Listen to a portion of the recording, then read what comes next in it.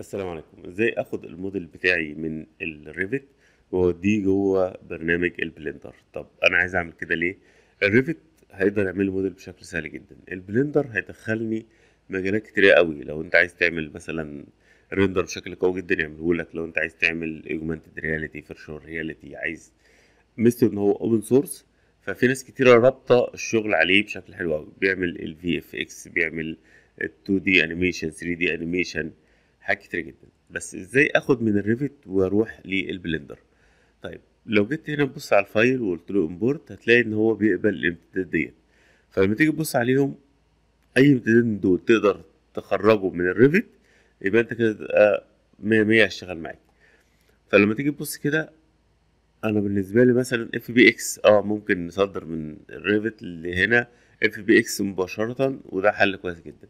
لكن أنا هستخدم ال Collada اللي هو DAE ليه بيبقى بيكون أسهل في موضوع ال- material؟ يعني ممكن أعمل select على material فيعلمني على كل الحوايط مرة واحدة آه، اللي واخدة نفس ال material على كل الإزاز اللي واخد نفس ال material وهكذا. طيب هبدأ بإيه؟ هبدأ إن أنا أجي هنا وأقول له إن أنا عايز ال tools اللي تحول ال Lumion اللي تحول ال Revit ل Lumion.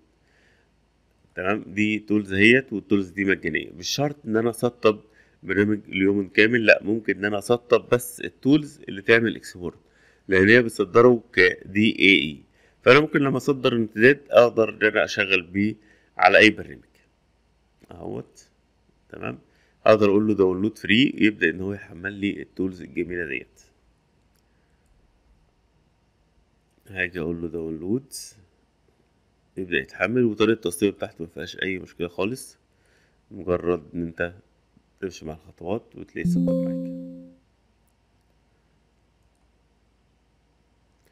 ممكن تكون في مشاكل جيت تصدر من ال Revit لمثلا Unreal أو Unity ولقيت إن في مشاكل فممكن تدخل تحل المشاكل ديت على برنامج Blender. في ناس بتعمل الموضوع دوت. يعني ده خلى في بعض العناصر مش مش متصدرين بشكل حلو.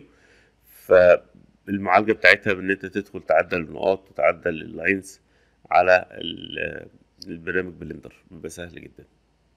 فزي ما أنت شايف لسه ال tools مش موجودة هضطر إن أنا أقفل ال Revit وأفتحه. على أساس تقدر تظهر معايا ال tools ديت. دلوقتي قفلنا ال Revit وفتحناه فهاجي هنا على ال Lumion وأقول له export وشوف بقى ال smoothing قد إيه وأقول له export هصدره هنا على ال picture وأقول له إيه save. وبعد كده هاجي هنا على ال Blender file import عندنا ال FBX لو إحنا عايزين وال Collada. أجي هنا وأختار. ممكن تقول له import unit وأقول له import Collada. فالمشروع يتحمل معايا بالشكل دوت. طيب خلينا نحذف ديت. هعمل عليها select أو من هنا select و right click delete يبقى معايا المشروع بالشكل دوت. لو في material فلازم إن أنا أغير هنا ال shading وهاجي هنا عشان لو في عايز تظبط ال material أو حاجة زي كده هنيجي هنا. وأختار shader editor نعمل select على أي material إحنا عايزينها. لو في أكتر material هيعلم select على ال material بس اللي موجودة. أهوت. دي الخصائص بتاعت ال material. يعني مثلا لو أنت عايز تحط لون معين فتقدر إن أنت تعمل select وتختار اللون لل base color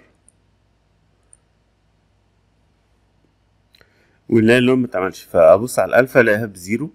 أبدأ إن أنا أديله اللون اللي أنا عايزه في الألفا. هخليها واحد تمام؟ شفافية تقدر إن أنت تتحكم فيها فأنا خليتها تظهر معايا.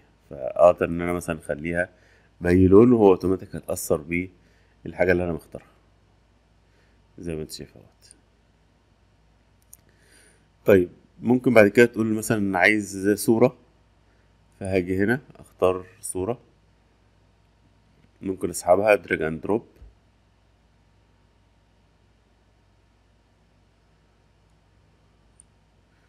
خلينا نروح ل picture طبعا الأفضل إن أنت تجيب له خامة بتاعت آه، مثلا خشب أو حاجة زي كده.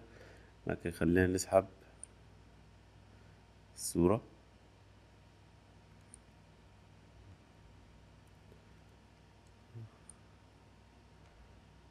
وأقول له بقى ال color بتاعتها.